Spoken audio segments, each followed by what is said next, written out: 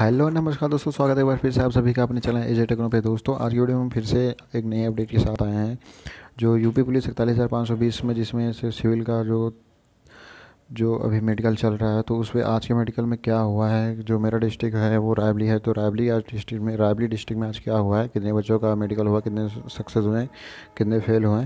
तो सारा डिस्कस कर वीडियो में करने वाले हैं। तो वीडियो में अगर आपने अभी तक चैनल को सब्सक्राइब नहीं किया तो प्लीज़ सबसे पहले आपको अपने चैनल को सब्सक्राइब कर लिया, ताकि जो भी लेटेस्ट वीडियो हर घंटे की होगी मिनट की होगी, वो सबसे पहले आप तक पहुँचती रहेगी। तो चलिए वीडियो को शुरू करते हैं। तो दोस्तों, आज की वीडियो में ये बताने वाले कि आज के मेडिकल में आखिर हुआ क्या? जो मैंने पिछली जो लिस्ट देखी थी डेली का मेडिकल होता था उस पर कितने बच्चे फेल होते थे, आज कितने फेल हुए तो उसको लेके एक यहाँ पे कुछ अलग से कंक्लूजन निकल रहा है मेरे हिसाब से। तो चलिए आज के मेडिकल में जो लिस्ट है, वो देख लेते हैं कितने सक्सेस हुए, कितने नहीं सक्सेस हुए, ठीक है? तो यहाँ पे जो मेरी फ़र्स्ट लिस्ट है, आप इस फ़र्स्ट लिस्ट में देखते हैं सीरियल नंबर एक से जो दिया गया है यहाँ पे।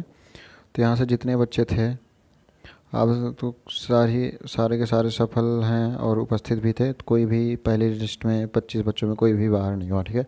सेकंड देख लेते हैं। छब्बीस से लेकर चौवन तक इसमें भी कोई बच्चा फेल नहीं हुआ है। थर्ड लिस्ट देख लेते हैं, एक सौ नौ तक बच्चे हैं इसमें भी कोई बच्चा फेल नहीं हुआ है। फोर्थ लिस्ट देखते हैं। तो इसमें भी कोई फेल नहीं हुआ। तो एक सौ टोटल एक सौ नौ बच्चों का मेडिकल हुआ बट कोई भी बच्चा फेल नहीं हुआ कि सब हंड्रेड परसेंट रिज़ल्ट आज का जो था, वो हंड्रेड परसेंट बिल्कुल था, ठीक है?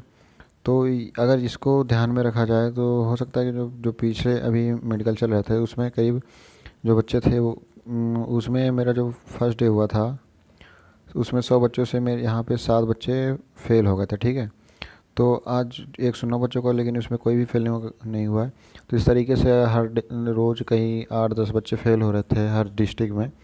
तो को कहीं ना कहीं वैकेंसी खाली चली जाती तो वो फिर सरकार के लिए एक नुकसान ही होता। तो फिर से वैकेंसी निकालनी पड़ती सारी प्रोसेस फिर से होता।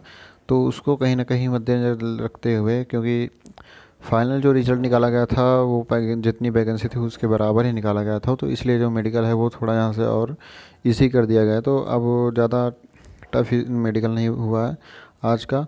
तो आज जितने बच्चे थे वो सक्सेस हो गए, सारा सफल हुआ। तो उनके लिए कांग्रेचुलेसन और जो जिनका अभी बाकी है तो आप अपना थोड़ा सा अपना थाने में कॉन्टेक्ट करते रहिए। तो आपका जो कब होने वाला है, आपका मेडिकल कब नहीं है तो वो आपकी डेट मिलती रहेगी, ठीक है? और सारा अपडेट आप वहाँ से लेते रहिए।